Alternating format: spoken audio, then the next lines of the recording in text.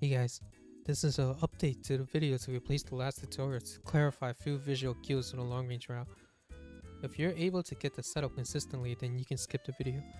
There was some confusion about the second portion of the movement, which I feel is important to address since it can cause soft locks, and unfortunately I cannot edit videos that were already published. So let's get started. So just like before, everything from the beginning is going to be the same. Spawn yourself on the top of the mountain and line yourself up on the third curve over here. This one, two, three, third curve. Or this thing that looks like a W is the first curve with the W. Dismount. This actually saves almost 5 seconds from the dismount animation and the text boxes. Hold down left during the transition. Grab long range. Hold up right and hold circle to hop on the chocobo. From the end of the grass over here, hold upright. Then go up once you pass the corner over here. Go right after you pass the line over here.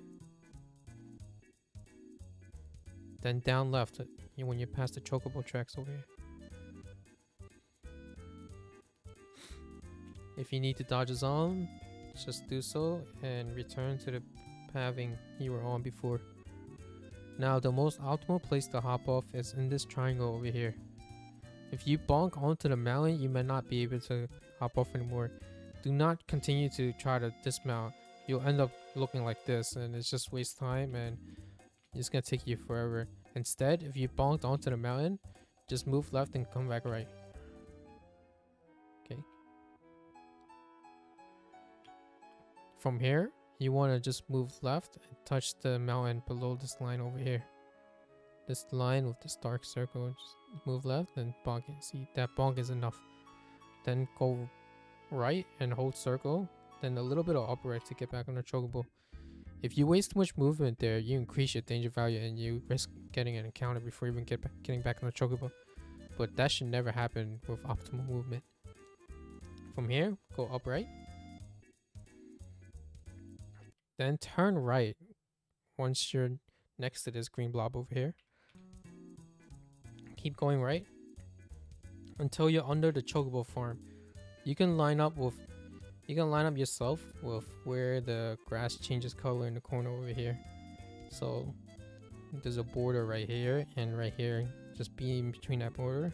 So you can line yourself right below the chocobo farm. If you're under it but like to the left of it, this will not work. So you just be safe. You Go a little bit more to the right. Touch the chocobo farm. Then go down left. Once you're near that border where it changes color again, go left. Now, when, when you're in the corner over here, just go down left until you're next to the shadow over here and just move left.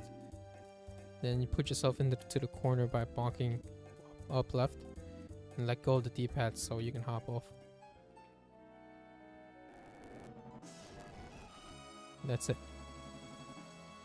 So I'm gonna show you this quickly one time.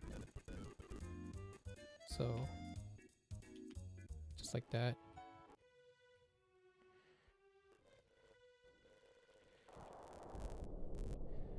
Let's pretend I grabbed long range. Then hop back on the chocobo. Up right. Up. Right past the after the line. Down left after the chocobo tracks. Keep going down left. Then left into the black triangle. Hold left, just a little bonk, enough. Up right. Right next to the blog. Under the farm, go up, then down left. After you pass the border, left, down left again. By the shadow, go left. Just lower yourself a little into the corner. And then pass over. Alright, good luck.